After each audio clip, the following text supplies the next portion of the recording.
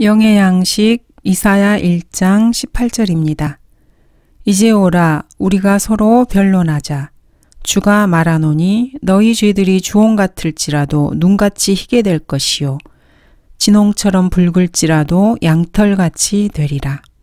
삼위일체 하나님께서는 주 예수 그리스도께서 육신을 입고 이 땅에 내려오시기 거의 7, 800년 전에 이미 사람들의 죄가 주홍 같을지라도 눈같이 희게 될 것이라고 선언하셨습니다.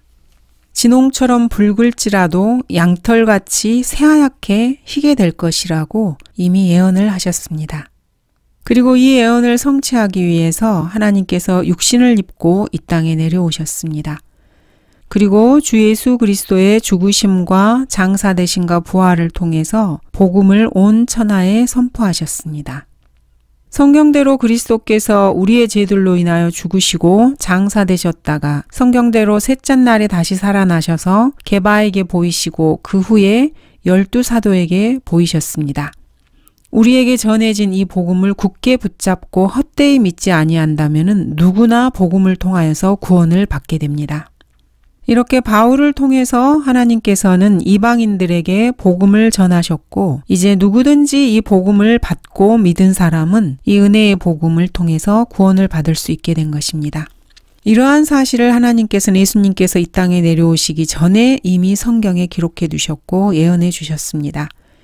지금 이 시대 교회 시대에는 누구든지 예수님을 믿고 예수님을 자신의 구주로 영접하면은 구원을 받고 하늘나라에 갈 수가 있습니다.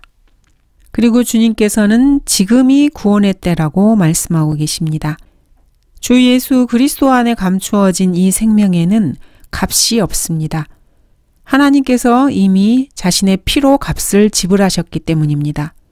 누구든지 갈보리 십자가로 나와서 주 예수 그리스도를 자신의 구주로 영접하는 사람들은 구원을 받고 자신의 모든 죄가 용서되며 하늘나라를 영원히 보장받는 것입니다.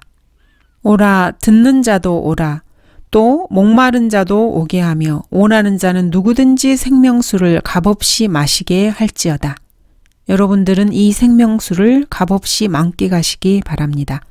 감사합니다.